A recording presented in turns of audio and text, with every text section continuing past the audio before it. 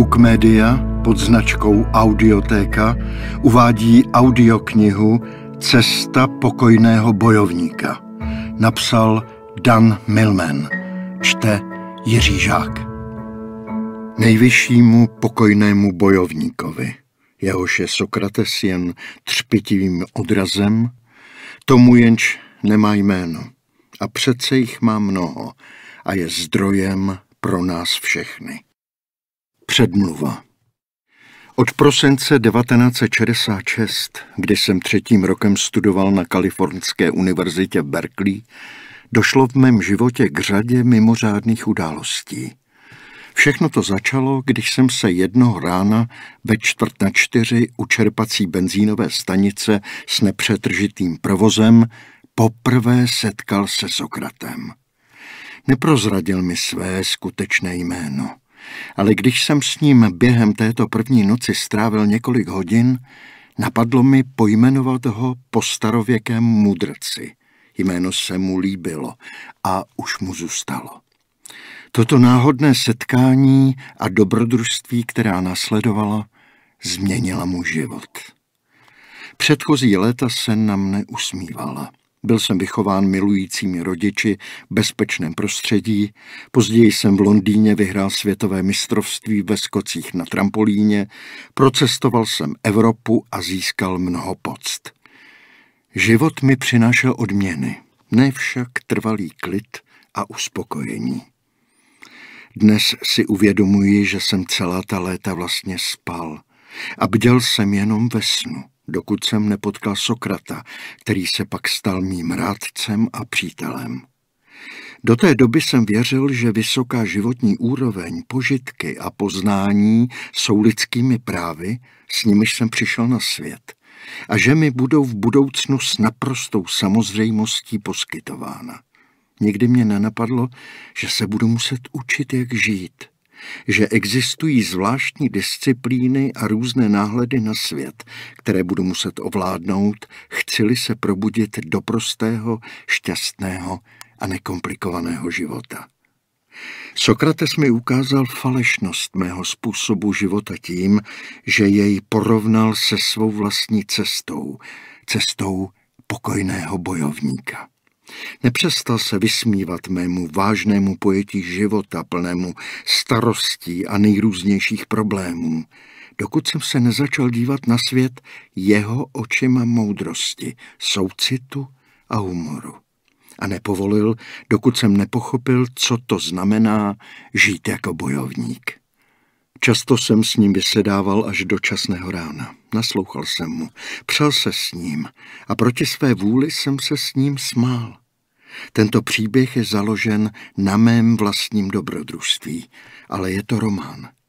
Muž, jehož jsem nazval Sokratem, skutečně existoval, ale dovedl natolik splynout se svým okolím, že někdy bylo obtížné říci, v kterém okamžiku zmizel a kdy se objevili další učitelé a nové životní zkušenosti. Dovolil jsem si pozměnit dialogy a některé časové posloupnosti a přidal jsem k příběhu anekdoty a metafory, abych zdůraznil poučení, které by si Sokrates byl přál, abych je sdělil ostatním. Život není soukromou záležitostí. Příběh a poučení z něj jsou užitečné jen tehdy, když se o ně podělíte s druhými. A tak jsem se rozhodl vzdát hold svému učiteli tím, že se s vámi podělím o jeho pronikavou moudrost a humor. Bojovníky se nazýváme, bojovníky.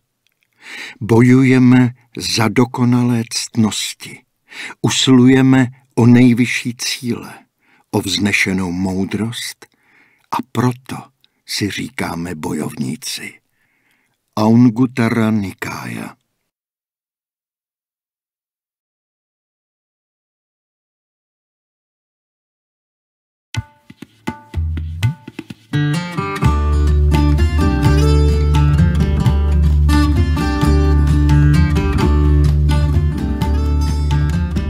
Čerpací stanice na konci duhy.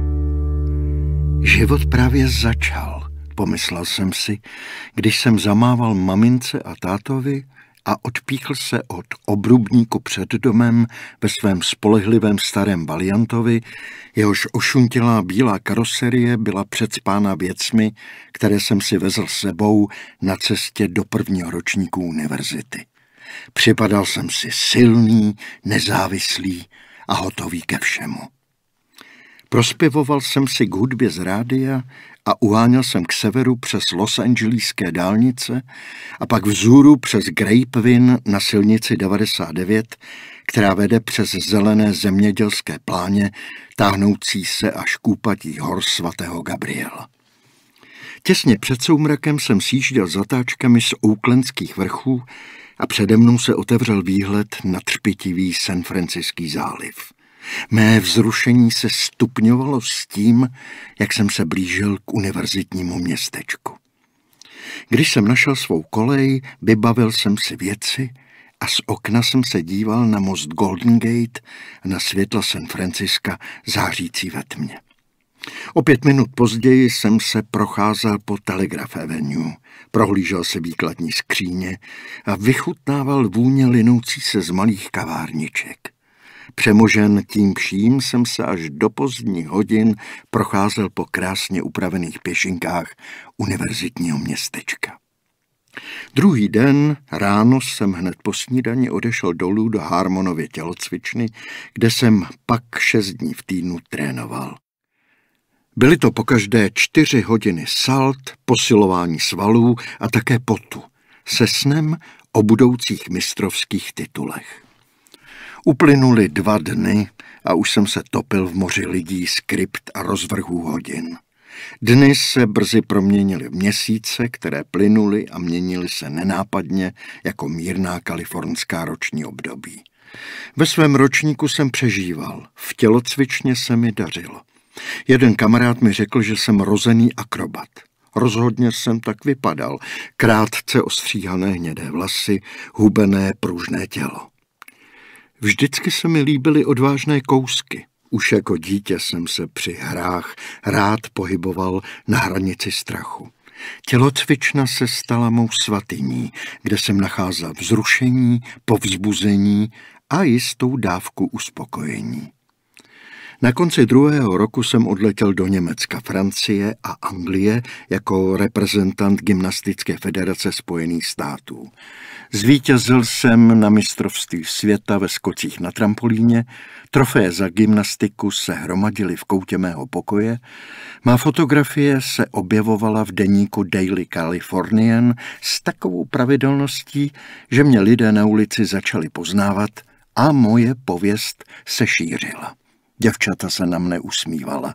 Suzy, moc hezká a vždy příjemná dívka s krátkými světlými vlasy a s televizním úsměvem, stále častěji přicházela na milostné návštěvy. I ve studiu se mi dařilo. Připadal jsem si jako v nebi. Ale na začátku třetího ročníku, na podzim roku 1966, se začalo vynořovat cosi temného a nepostižitelného.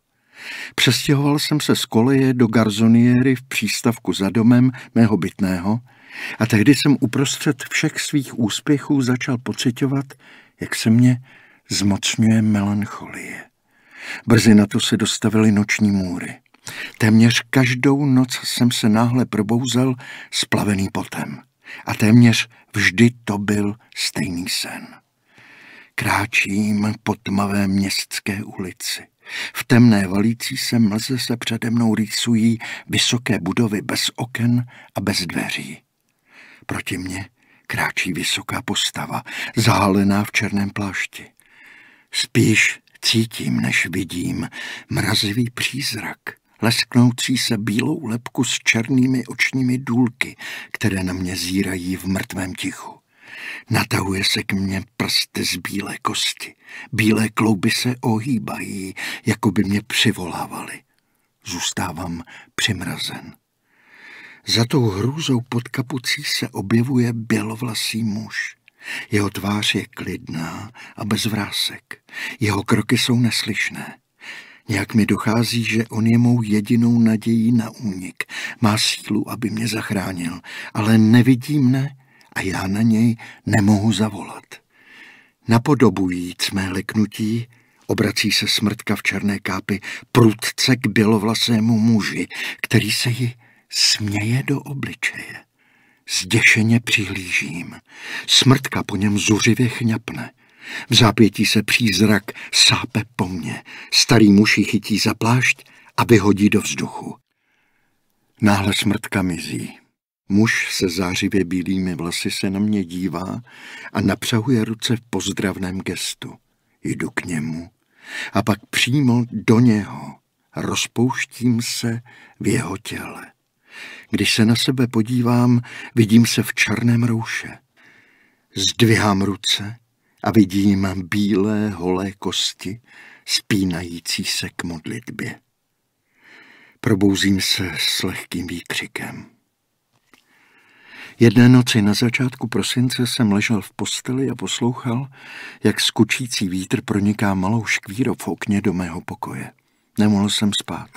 Vstal jsem, natáhl si vybledlé džíny, tričko, tenisky a péřovou bundu a vyšel do noci. Bylo pět minut po třetí hodině raní. Šel jsem bez cíle. Zhluboka vdechoval vlhký mrazivý vzduch, díval se na nebe plné hvězd a naslouchal ozveli se v tiché ulici nějaký zvuk. Ze zimy jsem dostal hlad a zamířil jsem k čerpací benzínové stanici s celonočním provozem, abych si koupil nějaké zákusky a něco k pití.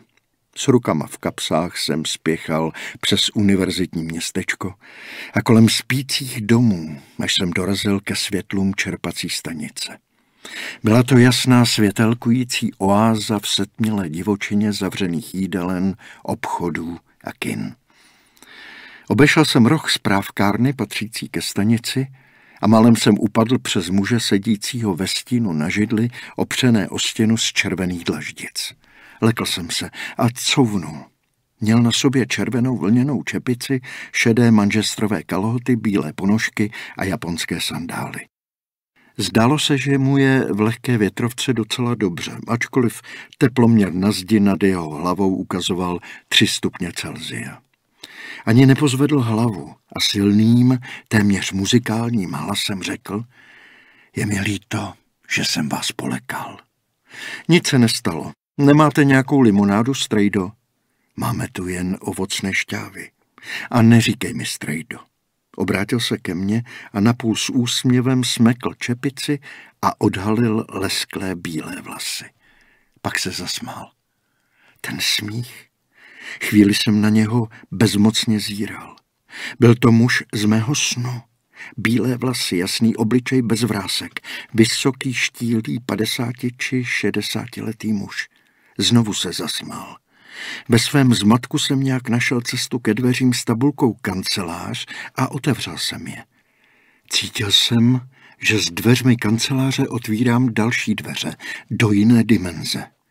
Klesl jsem na starou pohovku a čekal, co asi těmi dveřmi vtrhne do mého spořádaného světa. S mou hrůzou se mísilo podivné okouzlení, které jsem ovšem nechápal. Seděl jsem, lehce jsem oddechoval a snažil jsem se znovu vrátit do normálního světa. Rozhlížel jsem se po kanceláři tolik se lišila od sterilnosti a neladu obvyklých čerpadlových stanic. Pohovku na ní jsem seděl pokrývala vybledlá, avšak pestrá mexická přikrývka. Po mé levici, blízko vstupních dveří, byly ve skřínce úhledně srovnány pomůcky pro motoristy. Mapy, pojistky, sluneční brýle a tak dále. Za malým tmavohnědým ořechovým psacím stolem bylo křeslo čalouněné manžestrem zemita barvy. U dveří označených tabulkou vstup zakázán stála nádržka na chlazení pitné vody. Druhé dveře, blíž ke mně, vedly do dílny. Nejvíc na mě působila domácká atmosféra místnosti. Po její délce byl natažen jasně žlutý běhoun, který sahal až k rožce u vchodu. Zdi byly nedávno vybílené a barvu jim dodávalo několik obrázků krajin. Vlídná bělavá zář lamp mě uklidňovala. Byl to úlevný kontrast ke světelkující záři venku. Místnost vyzařovala teplo, pořádek a bezpečí. Jak se mohl tušit, že tato služební místnost se stane místem nepředvídaných dobrodružství, kouzel, hrůzy a romantiky? Tehdy jsem si jen pomyslel, že by se tam docela dobře hodil krb. Můj dech se brzy uvolnil a moje mysl, i když nebyla spokojená, alespoň přestala vířit. Podobnost toho bělovlasého muže s mužem z mého snu byla docela jistě náhodná. S povzdechem jsem vstal, zatáhl zip na bundě a vyšel do mrazivého vzduchu. Ještě tam seděl. Když jsem šel kolem něho a ještě naposled se na něj rychle podíval, setkal se můj pohled se zajiskřením v jeho očích. Ty se nepodobaly žádným očím, které jsem kdy viděl. Zprvu se zdálo, že jsou plné slz, které v zápětí skanou. Pak se slzy proměnily v záblesk a nakonec se hvězdy sami proměnily v pouhý odraz jeho očí. Na chvíli jsem byl ztracen. Neviděl jsem nic než ty oči, neústupné, zvědavé oči malého dítěte. Nevím, jak dlouho jsem tam stál. Mohly to být vteřiny nebo minuty, možná déle. Trhl jsem sebou a uvědomil si, kde jsem. Zamumlal jsem dobrou noc a s pocitem, že ztrácím rovnováhu, jsem spěchal k rohu budov. Když jsem k němu došel, zastavil jsem se. Cítil jsem šimrání v týle a věděl jsem, že se za mnou dívá. Ohlédl jsem se. Neuplynulo víc než patnáct vteřin. Ale on stál na střeše se skříženýma rukama a díval se na hvězdnaté nebe. Podíval jsem se na židli stále opřenou o zeď a znovu nahoru. To přece nebylo možné. Kdyby byl vyměňoval pneumatiku na kočáru z velké dýně taženém obrovskými myšmi, nepůsobilo by to o nic nepravděpodobněji. V nočním tichu jsem upřeně hleděl na jeho houbenou postavu, i na dálku neobyčejně působivou. Slyšel jsem vyzvánět hvězdy jako zvony zpívající ve větru. Náhle prudce otočil hlavu a díval se mi přímo do očí. Byl asi 20 metrů ode mne, ale téměř jsem cítil v obličeji jeho dech. Zachvěl jsem se, ale nebylo to zimou. Znovu se otevřely dveře, za nimiž se skutečnost rozpouštěla do snů. Vzhledl jsem k němu. Co pak? Řekl. Můžu pro tebe něco udělat. Pěštecká slova. Odpuste, ale je ti odpuštěno, usmál se. Cítil jsem, jak se červenám. Začínalo mi to jít na nervy. Hrál se mnou nějakou divnou hru, ale já jsem neznal pravidla. Rád bych věděl, jak jste se dostal z téhle židle. Upřesnil jsem. Na tu střechu za méně než dvacet vteřin. Tady jste se opíral o zeď. Obrátil jsem se, šel jsem tamhle na ten roh a vy... Vím přesně, co jsem dělal, zaburácel. To mi nemusíš popisovat. Otázka je, jestli víš, co jsi dělal ty. Ovšem, že vím, co jsem dělal. Dostával jsem stek, nejsem přece dítě, aby mě tu poučoval ale zoufale jsem chtěl přijít na trik toho dětka a tak jsem se ovládl a zdvořile poprosil. Prosím vás, pane, řekněte mi, jak jste se dostal na tu střechu. Jen se na mě dolů tiše díval, až jsem cítil mravenčení v týle. Konečně odpověděl, po žebříku, je tamhle vzadu za rohem. Pak už si mě nevšímal a znovu se díval nahoru. Rychle jsem zašel za roh. Skutečně tam byl starý žebřík nakřivo opřený o zadní zeď, ale jeho vršek byl alespoň půl druhého metru pod okrajem střechy. I kdyby ho byl mohl použít, což bylo velice nepravděpodobné, nevysvětlovalo to, jak se tam dostal za pár vteřin. Něco se ve tmě dotklo mého ramene. Když jsem se sleknutím otočil, viděl jsem, že to byla jeho ruka – Nějak se dostal dolů ze střechy a připlížil se za mnou. Pak jsem uhodl možnou odpověď. Měl dvojče. Zřejmě se bavili strašením nic netušících návštěvníků. I hned jsem ho obvinil. Tak kde pak máte to dvojče, mistře? Země si nikdo nebude dělat blázny. Trochu se zamračil a pak se dal do hlasitého smíchu. Tím to potvrdil. Měl jsem pravdu, prokoukl jsem ho, ale po jeho odpovědi jsem znejistil. Myslíš, že kdybych měl dvojče, ztrácel bych tu čas s někým, z koho si nikdo nebude dělat blázny? Znovu se rozesmál a šel zpátky k dílně. Stál jsem tam s otevřenými ústy. Nechápal jsem, kde se v tom chlápkovi bere ta odvaha. Rychle jsem ho dohonil. Vešel do dílny a začal si hrát s karburátorem pod kapotou staré zelené dodávkové fortky. Tak já jsem teda blázen, co? Řekl jsem a znělo to bojovněji, než jsem chtěl. Všichni jsme blázni, odpověděl. Jenže to ví jen pár lidí, ostatní to nevědí. Zdá se, že ty k ním patříš. A podej mi prosím tě ten malý klíč. Podal jsem mu ten podělaný klíč a odcházel jsem. Ale než odejdu, musel jsem se to dozvědět. Prosím vás, řekněte mi, jak jste se tak rychle dostal na tu střechu. Je to pro mě naprostá záhada. Vrátil mi klíč a řekl, svět je záhada. Není třeba v tom hledat nějaký smysl. Ukázal na polici za mnou. Teď bych potřeboval tamhle to kladivo a šroubovák. S pocitem marnosti jsem se na ně ještě minutu díval a lámal jsem si hlavu, jak ho mám donutit, aby mi řekl, co jsem chtěl vědět, ale zdálo se, že zapomněl, že tam ještě jsem. Vzdal jsem to a odcházel ke dveřím a v tom jsem slyšel, jak mi říká, neodcházej. Neprosil ani neporoučel, bylo to věcné konstatování. Podíval jsem se na něj, měl vlídný pohled. Proč nemám odejít? Mohl bych ti být užitečný, řekl a obratně uvolnil karburátor jako chirurg při operaci srdce. Opatrně ho položil a obrátil se ke mně. Zíral jsem na něj. Tohle rozeber, řekl a podal mi karburátor. Jednotlivé díly dej do téhle plechovky, aby se vymáčely. To ti odvede myšlenky od otázek. Moje frustrace skončila smíchem.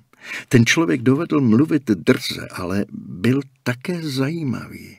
Rozhodl jsem se, že budu společenský. Jmenuji se Dan, řekl jsem a podal se mu s neupřímným úsměvem ruku. A vy? Dal mi do napřažené ruky šroubovák. Na mém jménu nezáleží a na tvém taky ne. Důležité je, co je za jmény a za otázkami. Tenhle šroubovák budeš potřebovat na rozebrání karburátoru, řekl. Za otázkami není nic, ocekl jsem. Jak jste dokázal vylétnout na tu střechu? Nevylétl jsem, vyskočil jsem, odpověděl s kamenou tváří. Není to žádné kouzlo, tak zanech naději. V tvém případě ale možná budu muset předvést velice obtížné kouzlo. Vypadá to, že budu muset proměnit osla v lidskou bytost. Kdo si sakra myslíte, že jste, abyste mi říkal takové věci? Jsem bojovník, ocekl. Kromě toho záleží na tom, kdo chceš, abych byl. Co pak neumíte jednoduše odpovědět na přímou otázku? Pomsty chtivě jsem se vrhl na karburátor. Polož mi nějakou a já to zkusím, řekl s nevinným úsměvem. Šroubovák se mi smekl a odřel jsem si prst. Do prčic, zařval jsem a šel jsem se vymít ráno k umývadlu. Dědek mi podal balíček první pomoci. Tak dobře, tady máte přímou otázku. Byl jsem odhodlán zůstat trpělivý. Jak mi můžete být užitečný? Už jsem ti byl užitečný, odpověděl a ukázal na můj obvázaný prst. To mě dorazilo. Poslyšte, já už tu nemůžu ztrácet čas. Potřebuju se vyspat. Položil jsem karburátor a chystal se odejít. Jak víš, že si neprospal celý svůj život? Jak víš, že zrovna teď nespíš? Řekl a v očích mu zajiskřilo. Říkejte si, co chcete. Byl jsem příliš unaven, než abych se dál hádal. Jen ještě jednu věc. Řekněte mi, než odejdu, jak jste provedl tam ten trik. Přišel ke mně a vzal mě za ruku. Zítra, Dane, zítra. Vřele se usmál a můj dřívější strach a frustrace zmizely. Dodal, bylo to milé, zas tě vidět. Jak to zás? Začal jsem se ptát, ale hned jsem se zarazil. Já vím, zítra, zítra. Oba jsme se dali do smíchu. Na cestě ke dveřím jsem se zastavil, otočil, podíval se na něho a řekl jsem, s Bohem, Sokrate. Podíval se překvapeně a pak dobromyslně pokrčil rameny. Myslím, že se mu to jméno líbilo. Odešel jsem beze slova. Druhý den ráno jsem zaspal do polední přednášky. Když přišel odpoledne čas tréninku v tělocvičně, byl jsem už vzhůru a připraven. Když jsme vyběhli po schodech na galerii a zpátky, leželi jsme s Rikem a Saidem vedle ostatních na zemi, potili se a oddychovali, protahovali si nohy, ruce a záda. Obvykle jsem byl při tomto rituálu sticha, ale tentokrát jsem měl chutím vypravovat o minulé noci. Řekl jsem jenom, v noci jsem se u benzínové pumpy sešel s pozoruhodným chlápkem. Kamarády ale víc zajímalo protahování bolavých svalů než mé historky. Pomalu jsme se rozcvičovali, dělali jsme zhyby, dřepy a další cviky a nakonec následovalo nářadí. Když jsem pak znovu a znovu létal na trampolíně vzduchem, když jsem dělal veletoče na hrazdě a střihy na koni na šíř a když jsem zápolil s novou sestavou na posilování, musel jsem neustále myslet na nepochopitelné výkony muže, kterému jsem říkal Sokrates. Zmatené pocity mi naléhavě radili, abych se mu vyhnul, ale cítil jsem, že musím odhalit tajemství jeho záhadné osobnosti.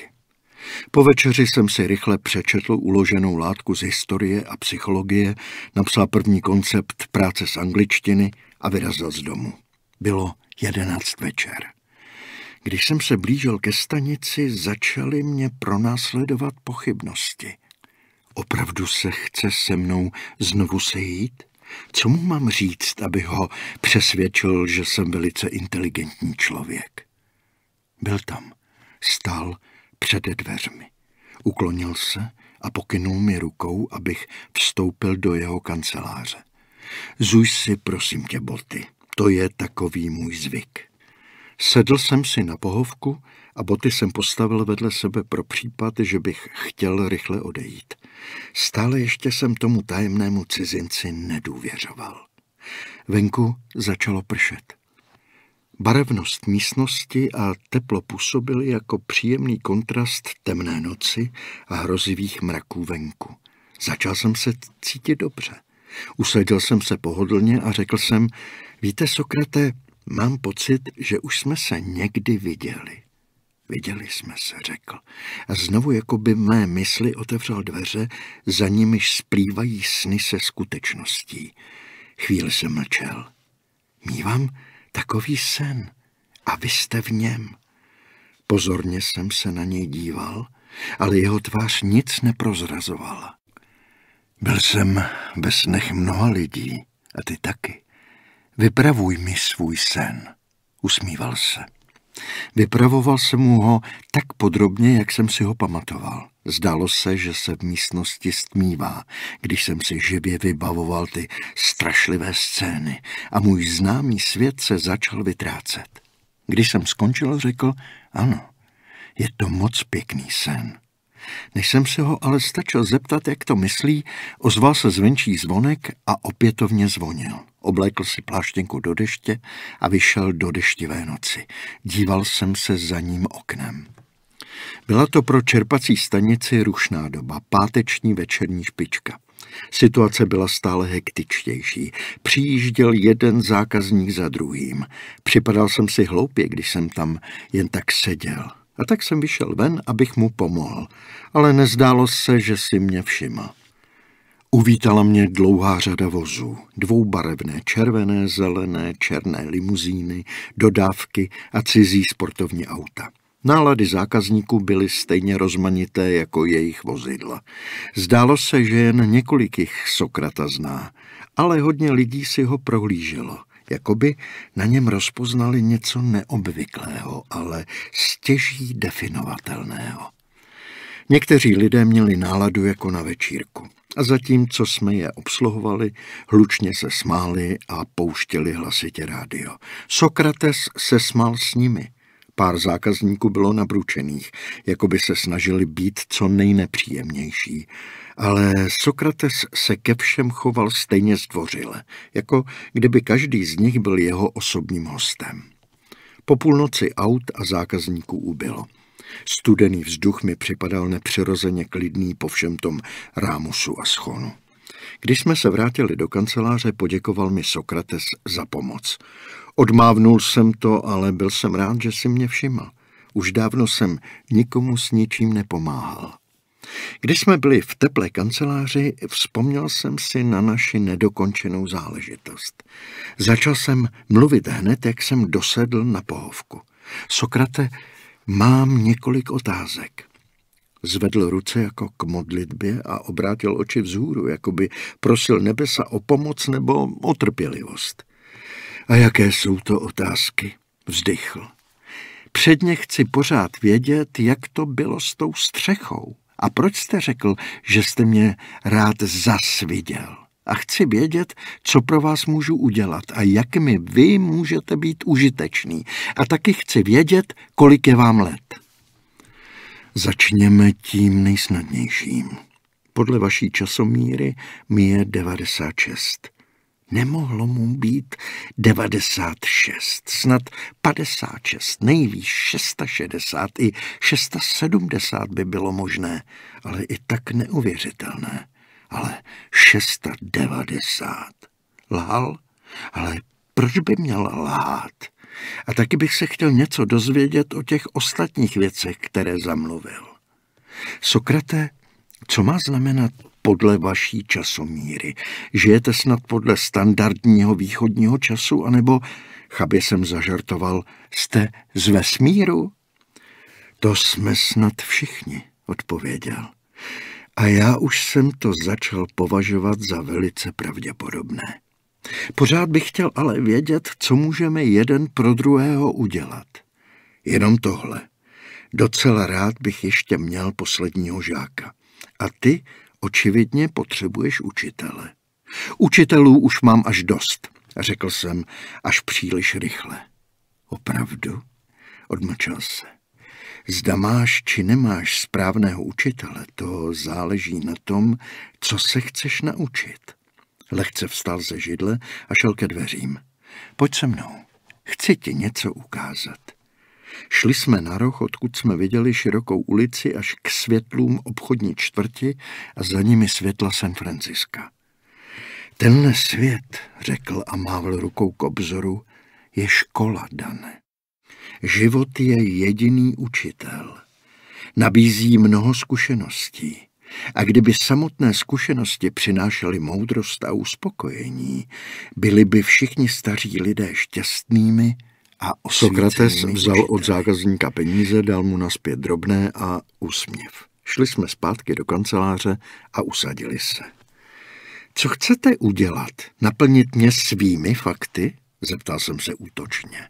Ne, nebudu tě zatěžovat dalšími fakty. Ukážu ti moudrost těla. Všechno, co kdy budeš potřebovat vědět, je v tobě. Tajemství vesmíru jsou otištěna v buňkách tvého těla.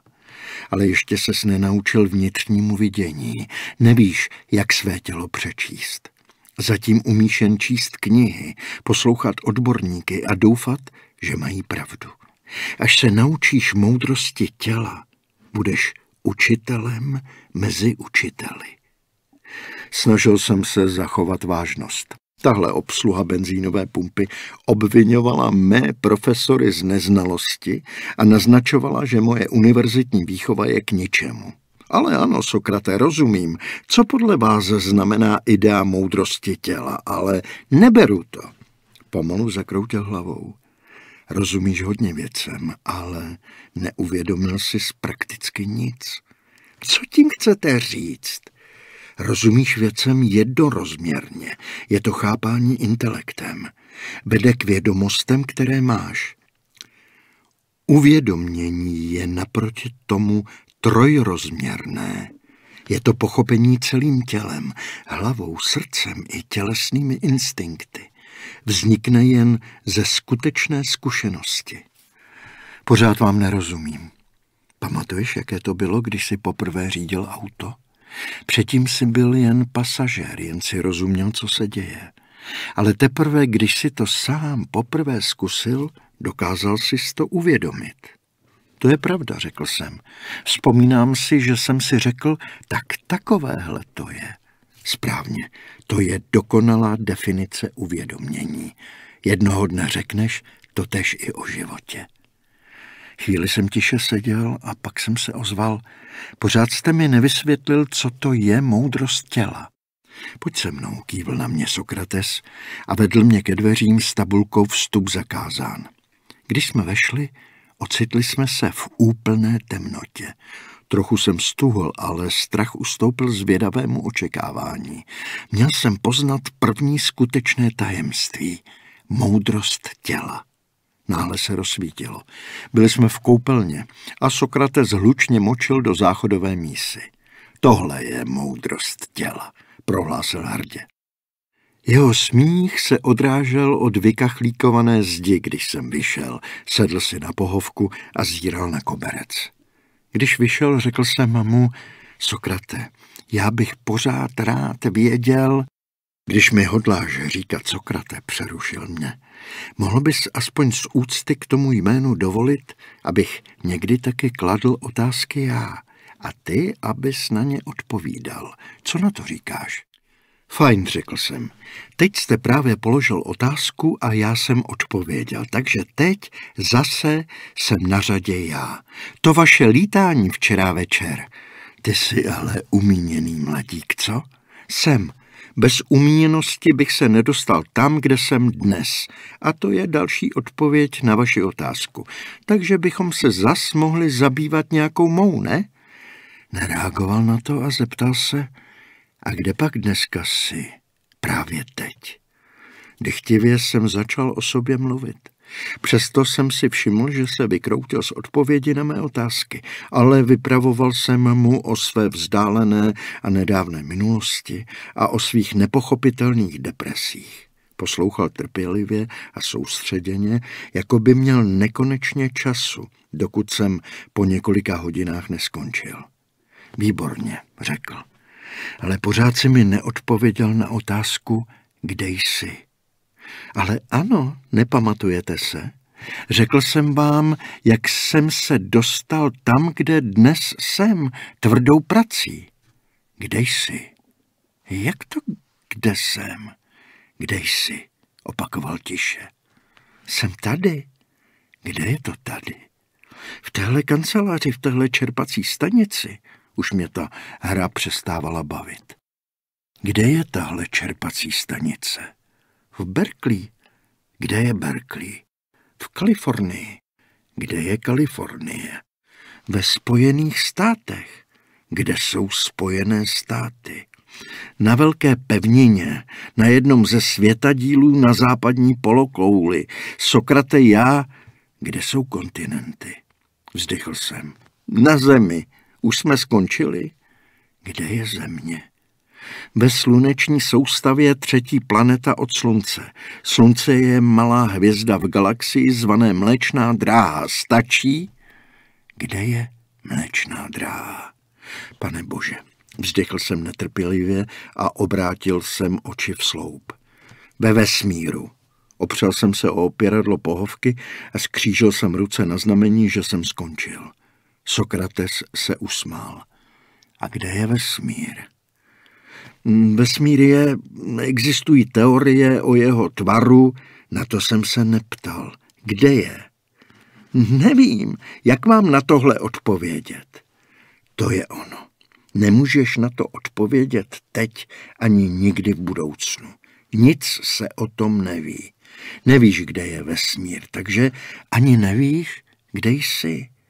Vlastně nevíš o ničem, kde to je a ani o ničem nevíš, jak se to stalo, že to je.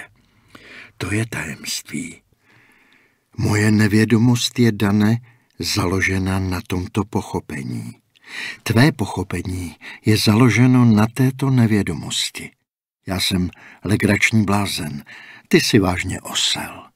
Poslyšte, řekl jsem, pár věcí byste o mě měl vědět. Především jsem už taky svým způsobem bojovník. Jsem zatraceně dobrý gymnasta. Abych doložil, co jsem řekl, a abych ukázal, že i já umím být spontánní, vstal jsem z pohovky a provedl jsem přemet vzad ze stoje s elegantním doskokem na koberec. No ne, řekl, to bylo skvělé. Udělej to ještě jednou. Ono to není tak těžké soku. Pro mě je to opravdu snadné. Snažil jsem se, jak jsem mohl, aby můj hlas nezněl blahosklonně, ale nemohl jsem potlačit hrdý úsměv. Byl jsem zvyklý předvádět takové kousky dětem v parku. Taky to vždycky chtěli vidět ještě jednou. Tak dobře, Soku, dívejte se pozorně. Vyskočil jsem z hůru a zrovna, když jsem se začal zaklánět, něco nebo někdo mě vyhodil do vzduchu. Přistál jsem jako hromádka neštěstí na pohovce. Byl jsem celý zachumlaný v mexické přikrývce ze zadního opěradla. Rychle jsem vystrčil hlavu a pohlédl na Sokrata. Pořád seděl na druhé straně místnosti přes tři metry ode mne, stočený v křesle a škodolibě se usmíval. Jak jste tohle udělal? Můj zmatek byl stejně dokonalý jako jeho nevinný výraz. Líbil se ti tvůj let? Ptal se. Chceš to vidět ještě jednou? A dodal. Nic si z toho nedělej, že jsi to trošku pokazil, Dane. I velký bojovník jako ty může občas něco spackat. Vstál jsem otupěle a urovnal jsem přikrývku na pohovce. Musel jsem dělat něco rukama, potřeboval jsem čas na přemýšlení. Jak to udělal? Zas jedna otázka, která zůstane bez odpovědi. Sokrates tiše vyšel z kanceláře, aby naplnil nádrž dodávky plné kuchyňských potřeb. Zas už jde někomu dodat dobrou náladu na cestu, pomyslel jsem si. Pak jsem zavřel oči a lámal jsem si hlavu Sokratovým zjevným pohrdáním přírodními zákony nebo přinejmenším zdravým rozumem. Chtěl bys poznat pár tajemství? Ani jsem ho nezaslechl, jak vstoupil. Seděl se skříženýma nohama ve svém křesle. Taky jsem skřížil nohy a dychtivě jsem se předklonil.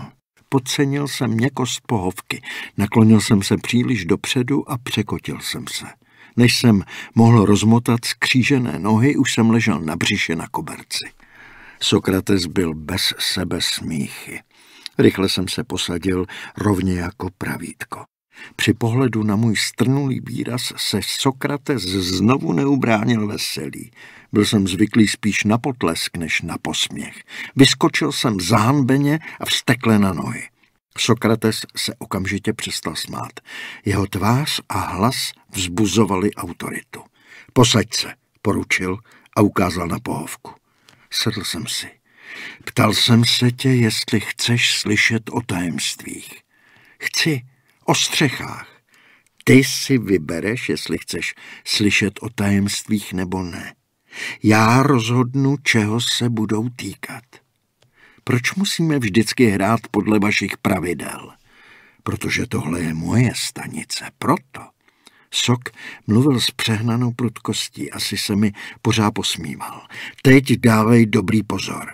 Mimochodem, jsi v pořádku a nebudeš už padat? Mrkl na mě. Jen jsem zaťal zuby.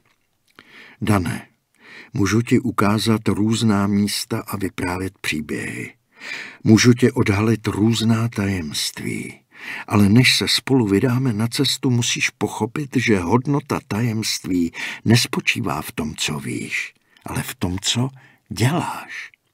Vstal, vytáhl ze zásuvky starý slovník a držel ho ve vstyčené ruce. Používej všechny své znalosti, ale buď si vědom jejich mezí.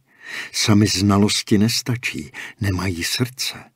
Žádná suma znalostí nevyživí ani nepodpoří tvého ducha. Nikdy ti nepřinese opravdové štěstí ani klid duše. Život chce víc než jen znalosti. potřebuje intenzivní cítění a vytrvalou energii. Život chce správnou činnost, jestliže vědomosti mají být vůbec k něčemu. To vím, Sokrate, v tom je tvůj problém, víš to, ale nejednáš podle toho, nejsi bojovník. Sokrate tomu nemůžu věřit. Vím, že jsem se někdy choval jako bojovník, když o něco doopravdy šlo. Měl byste mě vidět v tělocvičně. Určitě můžeš příležitostně pocítit bojovníkovou mysl, odhodlanou, hbitou, jasnou a prostou pochybností. Můžeš si vypracovat tělo bojovníka, ohebné, lehké, citlivé a plné energie. Ve vzácných okamžicích můžeš dokonce pocítit srdce bojovníka, který má láskyplný vztah ke všemu, s čím přijde do styku. Ale tyto vlastnosti jsou v tobě jen jako fragmenty. Chybí ti celistvost. Mým úkolem je dát tě zase dohromady. Tak moment, Sokrate. I když nepochybuju, že máte jisté neobvyklé schopnosti a rád se obklopujete aurou tajemství, není mi jasné, jak se můžete odvážit tvrdit, že vy dáte mě dohromady. Uvažujte. Já jsem mistr světa. Vy tu příštipkaříte v garáži, vaříte čaj a čekáte, až se objeví nějaký ubohý blázen, abyste ho mohl k smrti vyděsit. Možná, že bych já mohl dát dohromady vás. Nevěděl jsem dost dobře, co říkám, ale měl jsem přitom dobrý pocit. Sokrates se jen usmál a kroutil hlavou, jako by nevěřil tomu, co říkám. Pak ke mně přistoupil, klekl si vedle mě a řekl, ty, že bys dal dohromady mě? Možná, že k tomu budeš mít jednou příležitost. Zatím bys ale měl pochopit, jaký je rozdíl mezi námi dvěma. Dloubl mě několikrát do žeber a řekl, bojovník jedná. Nechte toho kruci sakra, zařval jsem. Jdete mi na nervy. A blázen jen reaguje. A co jste čekal? Dloubám do tebe a ty se hned vstekáš, urážím tě a tvá reakce je pícha a vztek uklouznu na banánové slupce a odstoupil na dva kroky ode mne, uklouzl a tvrdě dopadl na koberec. Nemohl jsem se udržet a řičel jsem smíchy. Posadil se na podlaze, obrátil se ke mně a s důrazem dodal, tvé pocity a reakce, Dane, jsou automatické a dají se předem odhadnout, kdežto moje ne. Vytvářím svůj život spontánně tvůj je dán tvou minulostí. Jak si tohle všechno můžete domýšlet o mně a o mé minulosti? Protože tě už léta pozoruju. To určitě, řekl jsem a čekal jsem na nějaký vtip. Žádný nepřišel. Bylo už pozdě a musel jsem si toho spoustu promyslet. Uvědomoval jsem si tíhu nové povinnosti a nevěděl jsem, dokážu-li ji splnit. Sokrates vešel, utřel si ruce a nalil si hrnek vody. Zatímco ji pomalu usrkával, řekl jsem, e, teď už musím jít, soku. Je pozdě a já mám spoustu důležité práce do školy. Vstal jsem a oblékal si bundu. Sokrates zůstal klidně sedět. Když jsem se obrátil ke dveřím, začal zvolna promlouvat a pečlivě přitom zdůrazňoval každé slovo. Jeho slova na mě působila jako laskavé pohlavky. Jestliže se chceš stát bojovníkem, měl bys raději přehodnotit své důležité věci. Teď máš právě inteligenci osla. Tvůj duch je břečka. Máš před sebou spoustu důležité práce, ale v jiné škole, než si myslíš. Díval jsem se upřeně na podlahu. Škubnutím jsem zvedl hlavu, abych se mu podíval do tváře, ale nemohl jsem vydržet jeho pohled. Odvrátil jsem oči. Abys vydržel učení, které tě čeká, budeš muset vynaložit mnohem víc energie, než si kdy vynaložil. Musíš vyčistit své tělo od napětí, zbavit mysl mrtvých vědomostí a otevřít srdce energii skutečných emocí. Měl bych vám vysvětlit svůj rozvrh soku. Chtěl bych, abyste pochopil, jak moc jsem zaměstnán. Rád bych vás často navštěvoval, ale mám strašně málo času. Smutně se na mě podíval. Máš méně času, než si dovedeš představit. Jak to myslíte? Vydechl jsem. Na tom teď nezáleží, řekl. Pokračuj. Tak tedy moje cíle jsou takové.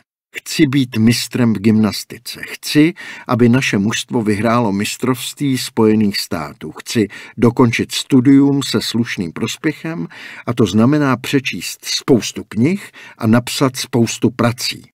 Vy mi místo toho nabízíte, abych trávil polovinu noci benzínové stanici a poslouchal, doufám, že se neurazíte, velice zvláštního člověka, který mne chce vtáhnout do světa fantazie. To je bláznovství.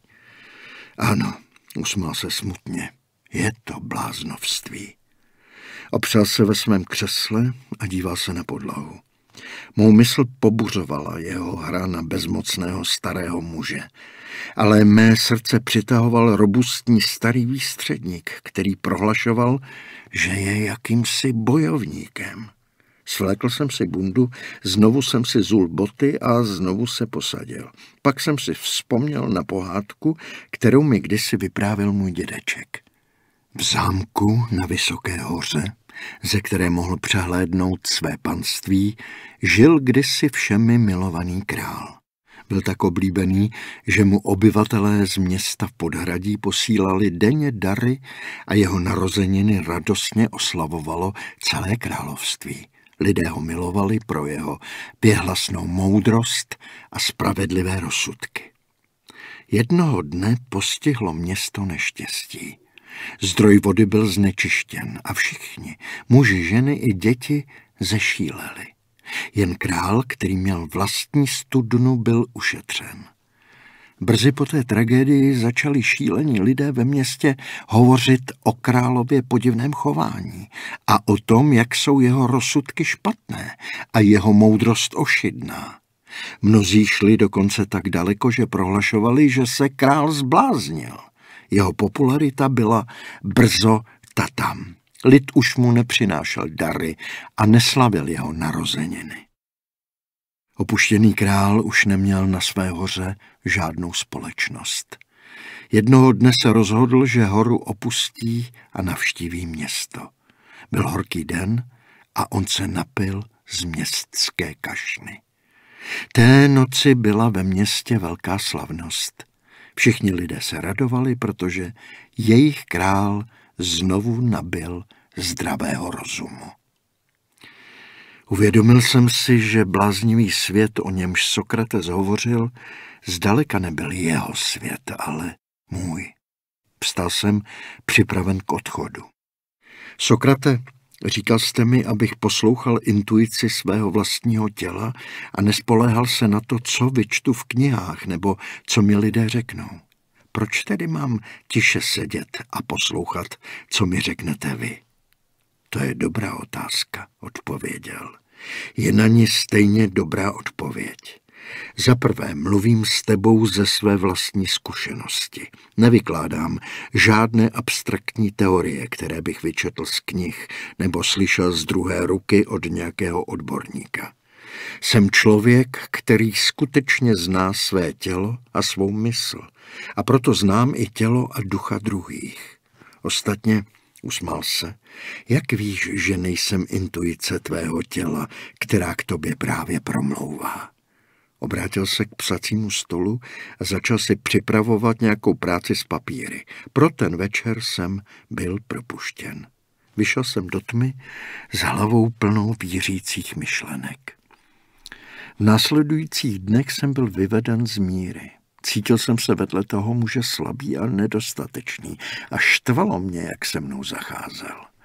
Zdálo se mi, že mě soustavně podceňuje. Nebyl jsem přece už žádné dítě.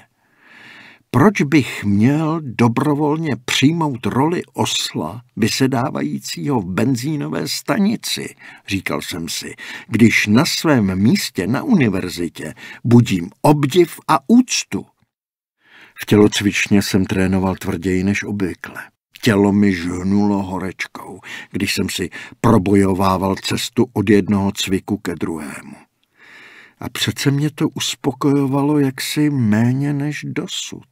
Pokaždé, když jsem zvládl nový cvik nebo se mi dostalo pochvaly, vzpomněl jsem si, jak se mnou ten dědek mrštil na pohovku. Můj coach Hall si se mnou začal dělat starosti a vyptával se, co se se mnou děje. Ujišťoval jsem ho, že všechno je v nejlepším pořádku, jenže nebylo. Už mě netěšily zábavy s chlapci z mužstva. Byl jsem prostě zmatený. Tu noc se mi vrátil sen o smrtce, ale byl jiný. Vítězně se smějící Sokrates, zabalený do ponurého smrtčina roucha na mě, namířil pistoli a vystřelil z ní praporek s nápisem BUM. Pro změnu jsem se probudil se smíchem místa výkřiku. Následující den jsem ve schránce našel lístek. Obsahoval jen jednu větu. Tajemství střechy. Když tu noc Sokrates přišel na stanici, už jsem tam seděl na schodech a čekal na něho. Přišel jsem o něco dřív, abych se chlapů z denní směny na Sokrata pozeptal, abych zjistil jeho skutečné jméno a dokonce snad kde bydlí. Ale ti o něm nic nevěděli. A koho by to zajímalo, zívl jeden z nich. Je to prostě jakýsi dědek, kterému vyhovují noční směny. Sokrates si svlékl větrovku. Tak co? Vybavil jsem na něj.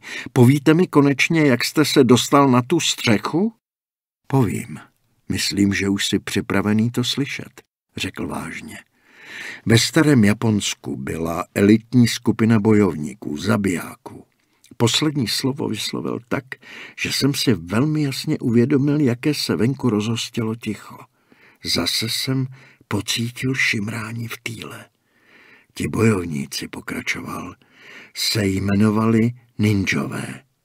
Provázeli je strašlivé legendy a pověsti. Říkalo se o nich, že se dovedou proměnit ve zvířata. Dokonce se říkalo, že dovedou létat, ovšem jen na krátké vzdálenosti. Dobrá, souhlasil jsem a s mrazivou rozkoší jsem cítil, že se znovu otevřou dveře do říše snů. Uvažoval jsem, kam tím asi míří a v tom na mne kývl, abych s ním šel do dílny, kde měl nějakou práci na japonském sportovním voze. Musím vyměnit svíčky, řekl Sokrates a vsunul hlavu pod kapotu. No dobře, ale co ta střecha, naléhal jsem. Dostanu se k ní za chvilku, jen co vyměním ty svíčky. Buď trpělivý. To, co se ti chystám říct, stojí za chvíli čekání, věř mi. Sedl jsem si a pohrával si s kladívkem, které leželo na ponku.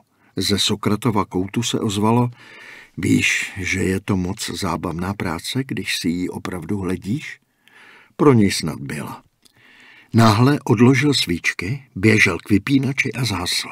Byla úplná tma, takže jsem neviděl ani své ruce před obličejem.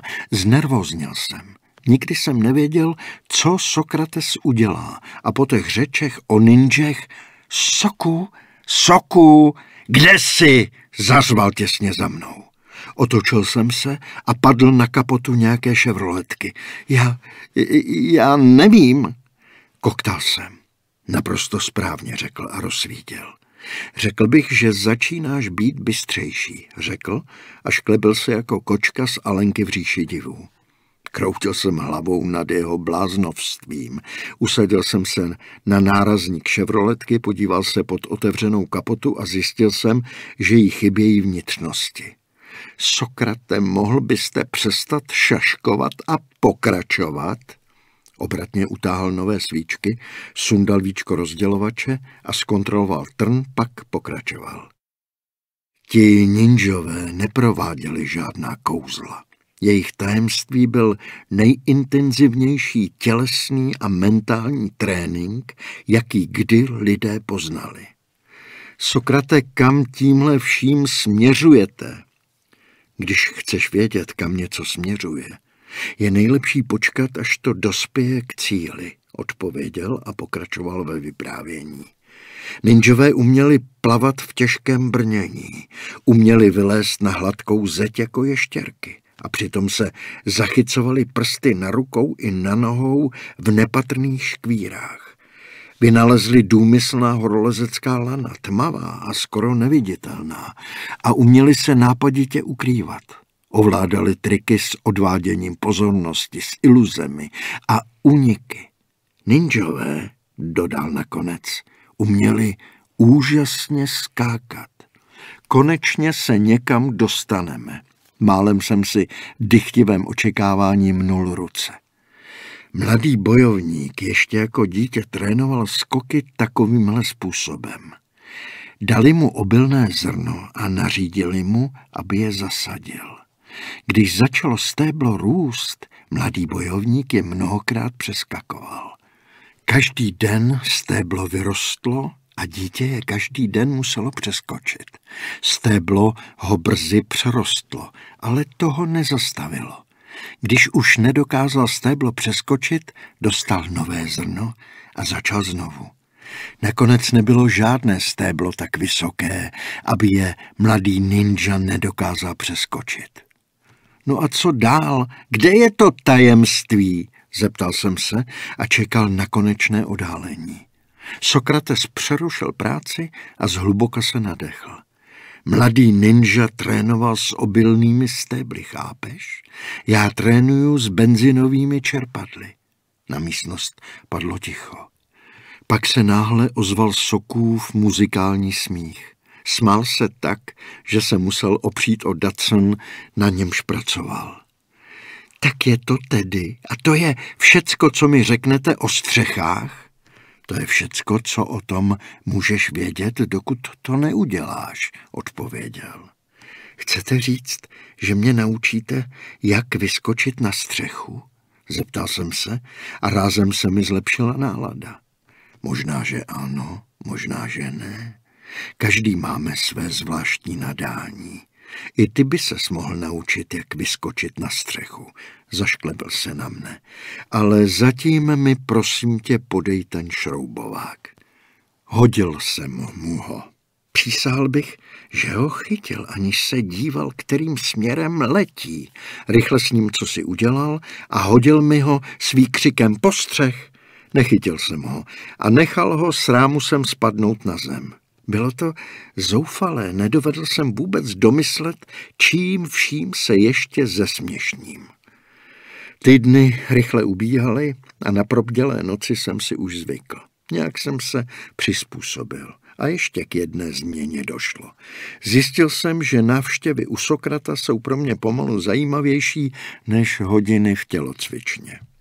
Každou noc, když jsme obsluhovali auta, on se staral o benziny a o okna a oba jsme žertovali se zákazníky, mne vyzýval, abych mu vypravoval o svém životě. O svém podivně mlčel a mé otázky odbýval úsečným později, nebo odpovídal něco úplně jiného, než nač jsem se ho ptal. Když jsem se ho zeptal, proč ho tak zajímají podrobnosti o mém životě, řekl – Chci porozumět tvým osobním iluzím, abych pochopil vážnost tvé nemoci. Budeme muset pročistit tvou mysl, než se před tebou otevřou dveře, které tě povedou na cestu bojovníka. Nechte mou mysl na pokoji, líbí se mi právě taková, jaká je. Kdyby se ti opravdu líbila, nebyl bys teď tady. Už si ji v minulosti mnohokrát změnil. Brzy to uděláš mnohem důkladněji. Po těchto slovech jsem se rozhodl, že si budu muset dát na toho člověka větší pozor. Ještě jsem ho moc dobře neznal a pořád jsem si nebyl jistý, jak velký je to blázen. Jeho chování se nicméně neustále měnilo, bylo neortodoxní, legrační, dokonce bizarní. Jednou se s hřevem vyřítil na malého bílého psíka, který močil na schody stanice. A to právě uprostřed přednášky o svrchovaném dobrodiní neotřesitelně klidné mysli. Jindy, asi o týden později, po té, co jsme spolu strávili celou noc, jsme zašli k jahodovému potoku, zastavili se na mostě a pozorovali vodu vystupující po jarních deštích z břehů. Díval jsem se na rychle tekoucí vodu a bezmyšlenkovitě jsem řekl, jak pak je tu asi hluboko. Než jsem se mohl vzpamatovat, zmítal jsem se v dravé, blátivě zahnědlé vodě. Srazil mě z mostu. Tak jak je tam hluboko? Poměrně dost, prskal jsem, když jsem v mokrých šatech vylezal z vody. To byl trest za neuváženou otázku. V dochu jsem si slíbil, že budu raději držet hubu. Jak míjeli dny, začal jsem si všímat čím dál víc rozdílů mezi námi dvěma. Když jsem dostal v noci hlad, zhltl jsem nějakou sladkou tyčinku. Sok snědl jablko nebo hrušku, nebo si uvařil čaj z bylinek. Já jsem se vrtěl na pohovce, on seděl jako Buddha v nerušeném klidu ve svém křesle. Mé pohyby byly neohrabané a hlučné ve srovnání s tím, jak on tiše a plynule přecházel po místnosti. A to byl prosím starý člověk. Každý večer mě čekala celá řada drobných lekcí. Jednoho večera jsem udělal chybu, když jsem si stěžoval, že se mi zdá, že se ke mně lidé ve škole nechovají zrovna moc přátelsky. Tiše řekl, bude pro tebe lepší, když na sebe vezmeš odpovědnost za svůj život takový, jaký je. Místo, abys ze svých potíží vinil druhé lidi nebo okolnosti. Až se ti otevřou oči, uvidíš, že jsi svůj zdravotní stav, své štěstí a všechny své životní okolnosti z velké části, vědomně nebo nevědomně, způsobil sám. Nevím, jak to myslíte, ale nemůžu s vámi souhlasit.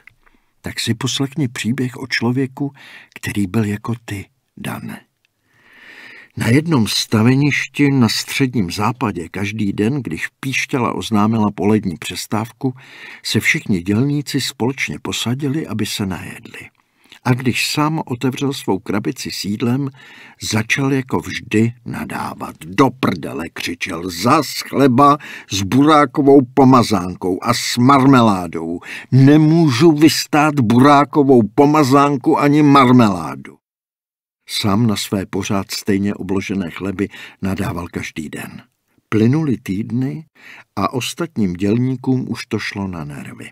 Nakonec mu jeden parťák řekl, pro Kristovy rány samé, když tak nerad jíš burákovou pomazánku a marmeládu, tak proč neřekneš své staré, aby ti dávala sebou něco jiného? Jaké staré, odpověděl sám. Já jsem svobodný, chleby si mažu sám. Sokrates se odmlčel a pak dodal, tak vidíš, v tomhle životě si všichni sami mažeme své chleby. Podal mi hnědý sáček se dvěma obloženými chleby. Chceš radši se sírem a s rajčetem nebo s rajčetem a se sírem? Zeptal se se smíchem. Dejte mi, který chcete, opětoval jsem jeho žert. Pustili jsme se do chlebů a Sokrates řekl, až převezmeš úplnou odpovědnost za svůj život, můžeš se stát úplným člověkem. A až se staneš člověkem, budeš moci přijít na to, co to znamená být bojovníkem. Díky soku za potravu pro duši i pro břicho, řekl jsem a hluboce jsem se uklonil. Pak jsem si oblékl bundu a chystal jsem se k odchodu. Teď pár týdnů nepřijdu. Blíží se závěrečné zkoušky. A taky toho mám hodně na důkladné přemýšlení. Než mohl odpovědět, zamával jsem mu a vytratil se. Ponořil jsem se do posledních přednášek semestru. Hodiny v tělocvičně jsem trávil nejtvrdším tréninkem, jaký jsem kdy absolvoval. Kdykoliv jsem se v tom schonu zastavil, začaly mé myšlenky a pocity nepříjemně vířit. Začal jsem pocitovat první známky rostoucího pocitu odcizení od každodenního života. Poprvé v životě jsem stál před volbou mezi dvěma rozdílnými skutečnostmi. Jedna byla bláznivá a druhá rozumná. Jenže jsem právě nevěděl, která je která, a tak jsem se k žádné z nich nepřiklonil. Nemohl jsem se zbavit stále sílícího pocitu, že Sokrates možná, ale jen možná, není nakonec tak výstřední. Možná, že jeho pohled na můj život je správnější, než jsem si myslel. Začal jsem si víc všímat, jak se chovám k lidem. A co jsem viděl, mě znepokojilo.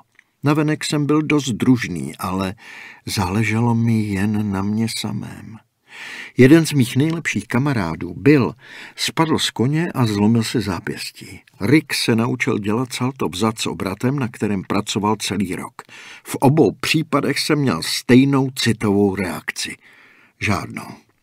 Pod tíhou rostoucího sebepoznání se rychle zmenšovala má sebeúcta. Jednoho večera těsně před závěrečnými zkouškami u mne někdo zaklepal na dveře. Byl jsem překvapen a šťastný, že to byla Suzy. Světlovlasá Suzy s reklamním úsměvem, kterou jsem celé týdny neviděl. Uvědomil jsem si, jak jsem osamělý. Nepozveš mě dál, Dany? Ovšem, že ano. Jsem opravdu rád, že tě vidím. Posaď se. Počkej, pověsím ti kabát. Chtěla bys něco k jídlu, něco k pití? Jen na mě zírala. Co se děje, Suzy? Vypadáš unaveně, Dany, ale Natáhla ruku a dotkla se mé tváře. Něco s tebou je? Máš nějaké jiné oči? Co je to? Pohladil jsem ji po tváři. Zůstaň se mnou přes noc, Suzy. Už jsem myslela, že mě nepozveš. Mám s sebou kartáček na zuby. Ráno jsem se obrátil, abych vychutnal vůni jiných rozcuchaných vlasů, svěžích jako letní tráva a abych cítil její dech na svém polštáři. Měl bych se cítit dobře, pomyslel jsem si, ale má nálada byla šedá jako mlha za oknem. Několik dalších dnů jsem se s Suzy strávil spoustu času. Řekl bych, že jsem nebyl moc dobrý společník, ale její dobrá nálada stačila pro nás, pro oba. Něco mi bránilo, abych ji vyprávěl o Sokratovi – byl z jiného světa, do něhož ona nepatřila.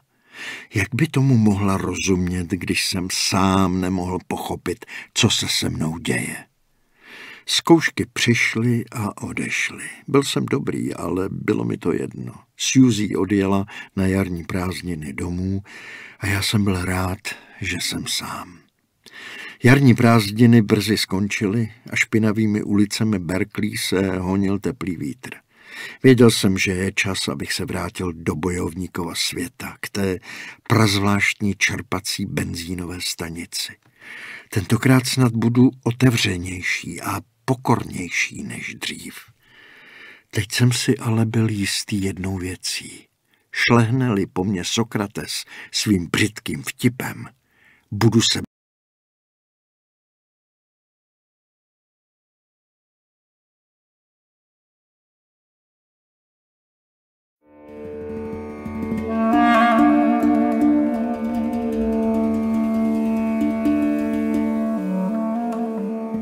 Kniha první Vítr změn Obluzená mysl Bylo pozdě večer. Když jsem skončil práci a navečeřel se, na chvíli jsem si zdřímal. Probudil jsem se krátce před půlnocí. Pomalu jsem se ubíral k čerpací stanici svěžím vzduchem časného jara. Dozad mi foukal silný vítr, jako by mne po cestách univerzitního městečka chtěl popohnat ku předu. Když jsem se blížil ke známé křižovatce, zpomalil jsem. Začalo lehce mrholit a ochladilo se.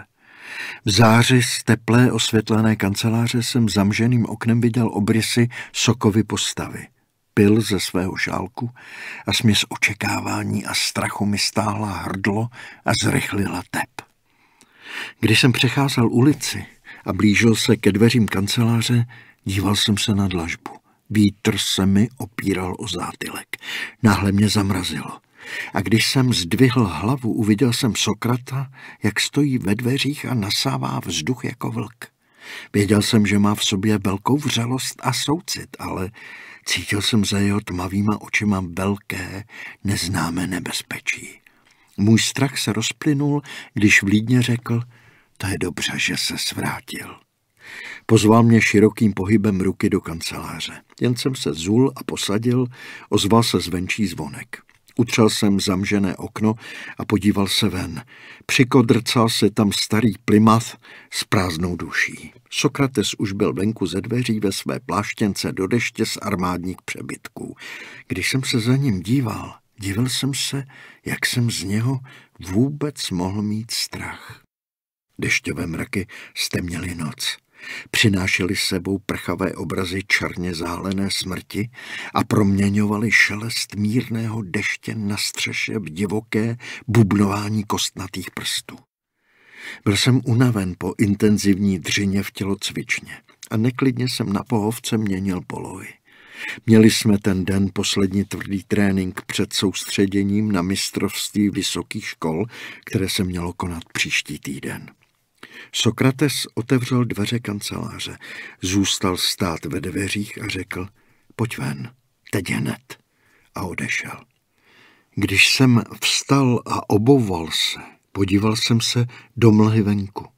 Sokrates tam stál za čerpadly, těsně za světlem, které vycházelo z budovy. Napůl skrytý ve tmě vypadal, jako by na sobě měl plášť s černou kapucí. Nepůjdu ven. Kancelář byla jako pevnost proti noci a proti světu venku, který začal dorážet na mé nervy jako hlučný pouliční provoz. Ne, nepůjdu ven. Sokrates na mne z temnoty kývl a pak znovu. Odevzdal jsem se svému osudu a vyšel jsem ven. Když jsem se k němu opatrně blížil, řekl, poslyš, cítíš to? Co? Dávej pozor. V tom okamžiku přestalo pršet a zdálo se, že vítr mění směr. Zvláštní, byl to teplý vítr. Vítr soku. Ano, vítr. Mění se.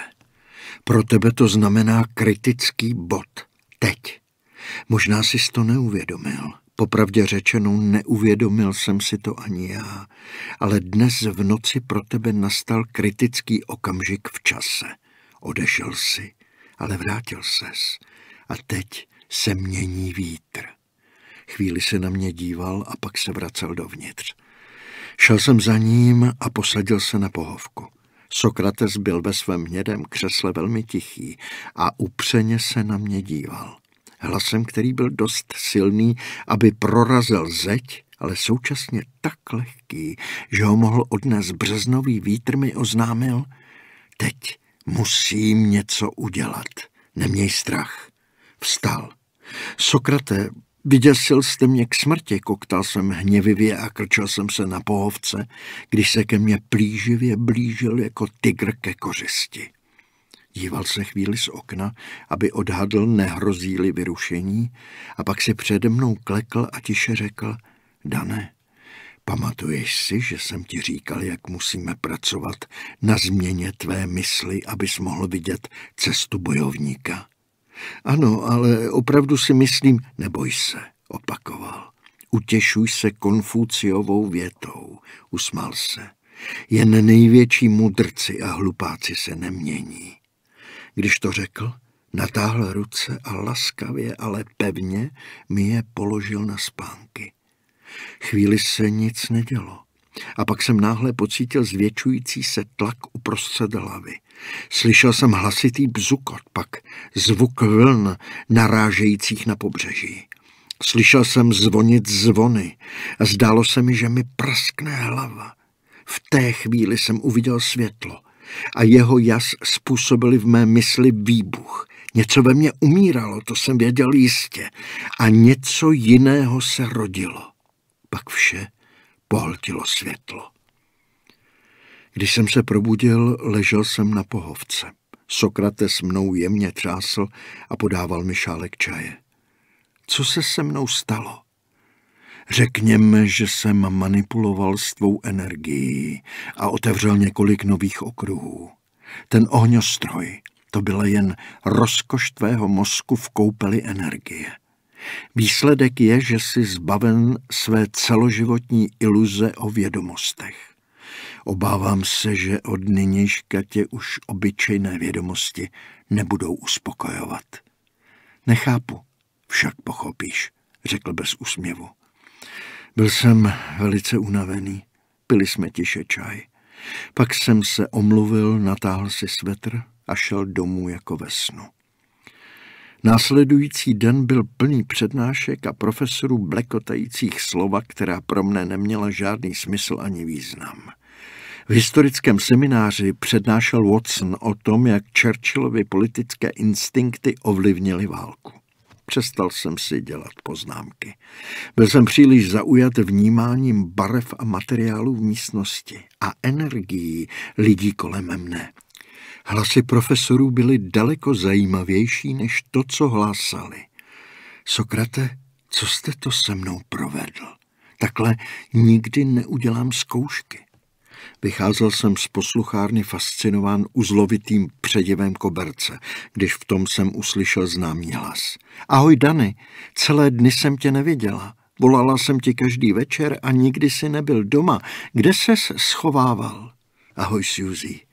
Jsem hrozně rád, že tě zase vidím. Já jsem se učil. Její slova tančila vzduchem. Sotva jsem jim rozuměl, ale cítil jsem, co cítila. Byla trochu uražená a trochu žárlivá, ale její tvář zářila jako vždycky. Rád bych si popovídal s Juzí, ale musím do tělocvičny. Chápu, chápu. Cítil jsem její zklamání. Ale uvidíme se brzy, že ano? To víš, že se uvidíme. Ta Vocnova přednáška ale byla skvělá, co myslíš? Hrozně ráda poslouchám o Churchillově životě. Je to ohromně zajímavé, co? Ale ano, skvělá přednáška. Tak zatím ahoj, ahoj. Když jsem se otočil, vzpomněl jsem si, co říkal Sok o mých stereotypech o stychu a strachu. Asi měl pravdu. Opravdu jsem se necítil mezi lidmi dobře. Nikdy jsem nevěděl, co mám říct.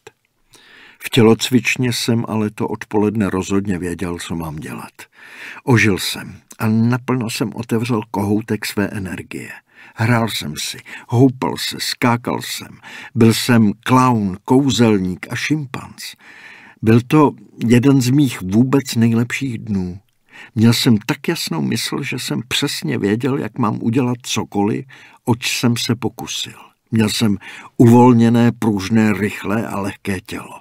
Při skocích na trampolíně jsem si vymyslel jeden a půl salta vzad s následným půlobratem a přechodem do kotoulu vpřed. Na hrazdě jsem švihem přešel do veletoče a provedl přelet přes hrazdu s obratem. Oba tyto prvky do té doby ještě nikdo ve Spojených státech do sestavy nezařadil. O několik dní později odletělo naše družstvo do Oregonu na mistrovství vysokých škol. Vyhráli jsme a vrátili se domů. Bylo to jako sen o slavném vítězství a slávě, ale nemohl jsem se zbavit starostí, které mne pronásledovaly. Uvažoval jsem o všem, co se stalo od onoho večera, kde ve mně vybuchlo světlo. Něco se určitě stalo, jak to sok předpovídal. Ale děsilo mě to a měl jsem pocit, že se mi to vůbec nelíbí. Je dost možné, že Sokrates není takový, jak se jeví. Možná, že byl chytřejší nebo ďábelštější, než jsem tušil. Tyhle myšlenky zmizely, jakmile jsem prošel dveřmi jeho osvětlené kanceláře a spatřil jeho živý úsměv. Sotva jsem si sedl, Sokrates řekl, jsi ochotný vydat se na cestu? Na cestu? Opakoval jsem. Ano, na výlet, na cestu, na prázdniny, za dobrodružstvím. Ne, děkuju, nejsem na to oblečený. Nesmysl, vykřikl tak hlasitě, že jsme se oba rozhlédli, neslyšel-li to venku nějaký kolem jdoucí. Pst, šeptal hlasitě, ne tak náhlas, nebo všechny vzbudíš. Využil jsem jeho vlídné nálady a vyhrkl jsem Sokraté. Můj život přestal mít smysl, nic nefunguje, kromě času, který trávím tělocvičně. Nemáte mi snad věci usnadňovat? Myslel jsem, že právě to je práce učitele. Začal mluvit, ale přerušil jsem ho. A ještě něco. Vždycky jsem věřil, že si máme svou cestu životem najít sami.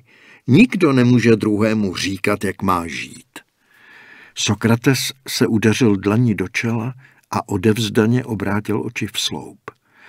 Já jsem část tvé cesty, paviáne. A nedá se říct, že jsem tě zrovna ukradl z kolébky a zavřel tě tady, nebo snad jo. Můžeš odejít, kdy se ti zachce. Přešel ke dveřím a otevřel je. V tom okamžiku předjela před stanici černá limuzína a Sokrates mi s britským přízvukem řekl Váš vůz je připraven, Sire. Byl jsem tak zmaten, že jsem si opravdu myslel, že pojedeme na tu cestu v limuzíně. Ostatně, proč ne, říkal jsem si. Byl jsem tak zmatený, že jsem šel rovnou k limuzíně a chtěl se posadit na zadní sedadlo. Najednou jsem se ocitl tváří v tvář vrázčitému mužíkovi, který objímal asi 16-letou dívku, pravděpodobně sebranou na ulici v Berkeley. Vrhl na mě pohled jako šakal. Sokova ruka mě uchopila vzadu za svetr a vytáhla mě z auta. Když zavíral dvířka, omlouval se, omluvte mého mladého přítele. Ještě nikdy nejel tak krásným vozem a úplně mu to popletlo hlavu. Že, Jacku? Tupě jsem přikývl. Oč jde sakra, šeptal jsem vstekle koutkem úst, ale to už jsem omýval okna. Když auto odjelo, rozpaky jsem se začervenal. Proč jste mě nezarazil, Sokrate? Upřímně řečeno, bylo to úžasně srandovní. Nenapadlo mě, že bys mi mohl tak snadno skočit na lep. Stali jsme tam uprostřed noci a zírali na sebe. Sokrates se šklebil, já jsem zatínal zuby, dostával jsem vztek. Už mě na mou duši nebaví dělat ze sebe blbce, ječel jsem. Musíš uznat, že si tu roli studoval s takovou pílí, že si v ní skoro dokonalý. Otočil jsem se, kopl do koše na odpadky a namířil si to do kanceláře. Pak mě něco napadlo. Proč jste mi před chvíli říkal Jacku? To je zkratka pro osla, řekl a předešel mě. Tak dobře, ať je po vašem, řekl jsem a běžel jsem vedle něho ke kanceláři. Vydáme se tedy na tu vaši cestu. Jsem připravený úplně na všecko. Leďme, leďme. Teď se ukazuješ z jiné stránky, statečný krejčíku. Statečný, nestatečný, ale nedám sebou orat. Teď mi řekněte, kam se vydáme.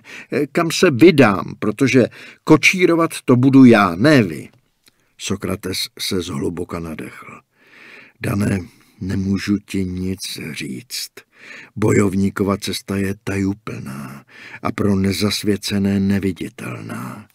Doposud jsem ti ukazoval, jaký nemá bojovník být, když jsem ti odhaloval tvou vlastní mysl.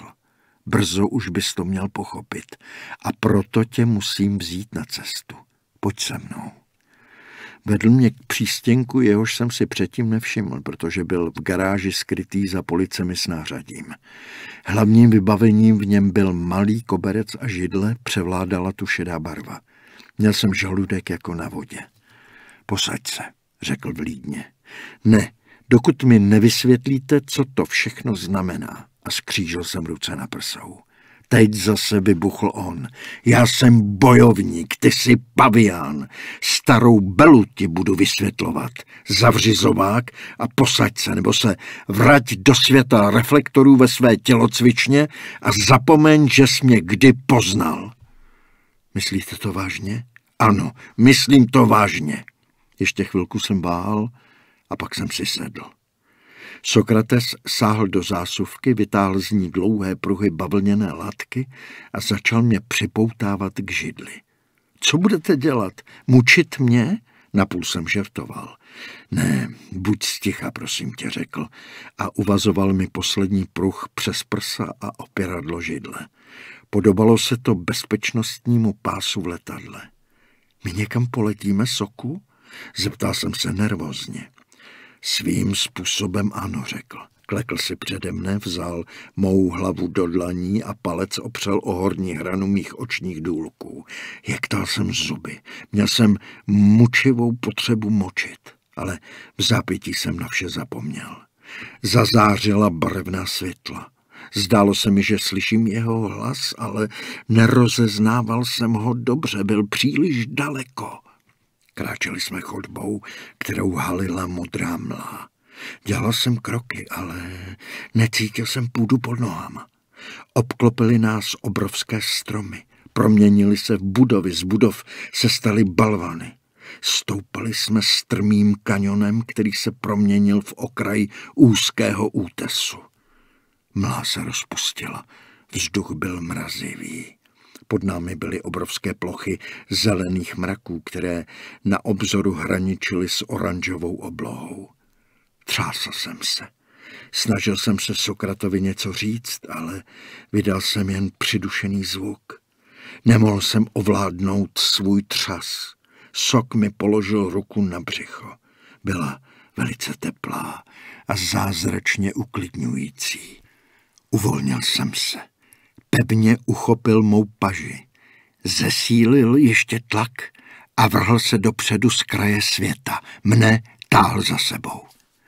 Mraky z ničeho nic zmizely a my jsme vyseli z trámový sportovní haly a jako opilí pavouci jsme se povážlivě houpali vysoko nad zemí. Hopla, řekl Sok, malá chybička v režii. Co to k sakru má být? křičel jsem a snažil jsem se lépe se zachytit. Švihem jsem se dostal nahoru na jeden z trámů. Bez dechu jsem na něm ležel a přidržoval se rukama i nohama. Sokrates už se lehce vytáhl a usadil se na protějším trámu. Všiml jsem si, že na svůj věk si vedl velice dobře. Podívejte se, ukázal jsem. Jsme na soutěži gymnastů. Sokrate, vy jste ale cvok.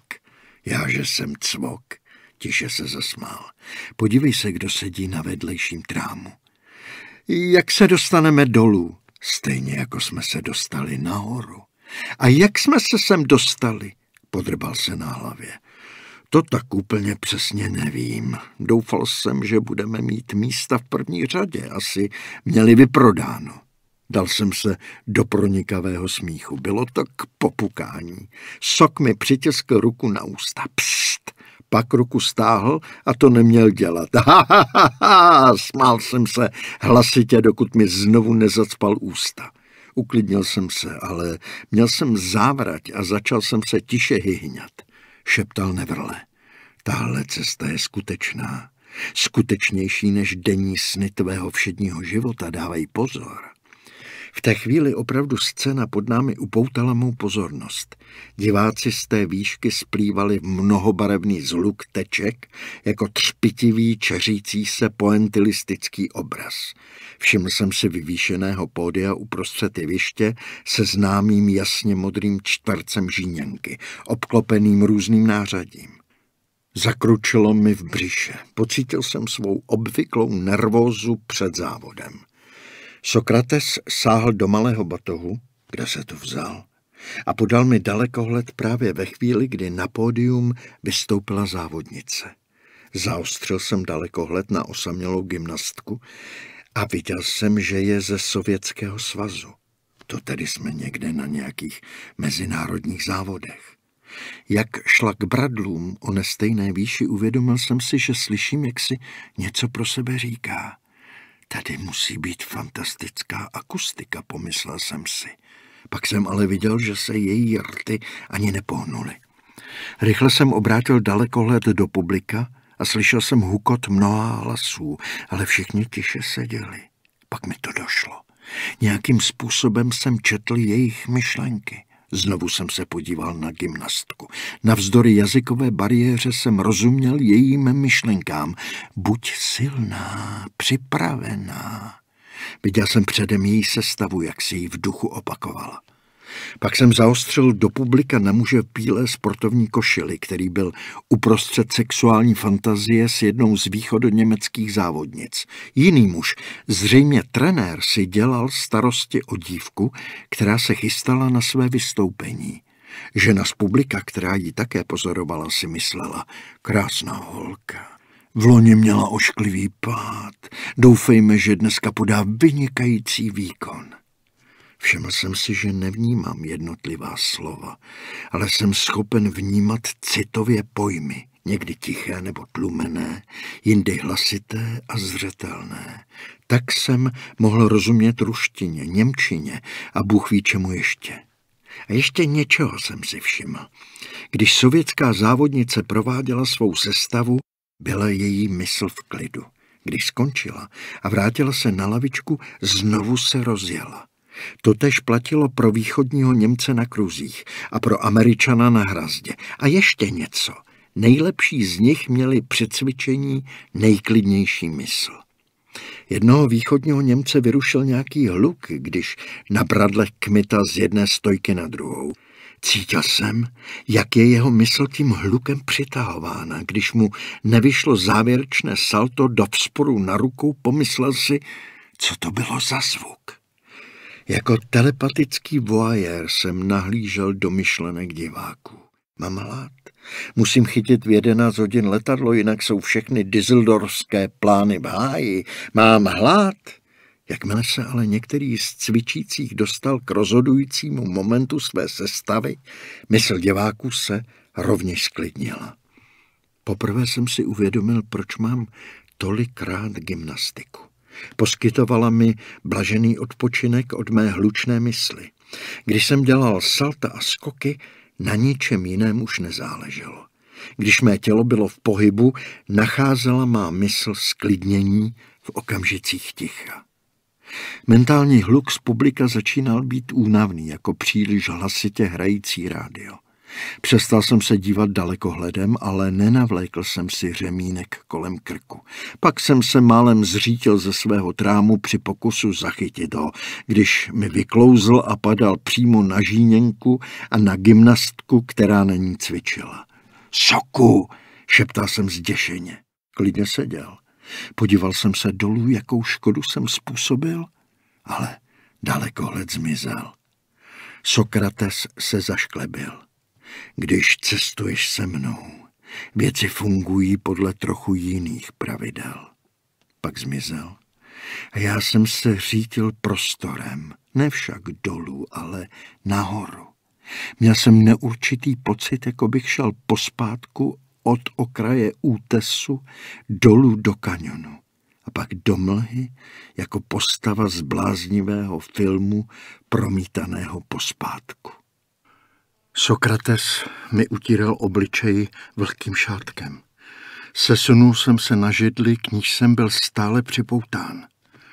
Tak co, řekl, rozšiřuje cestování obzory? To by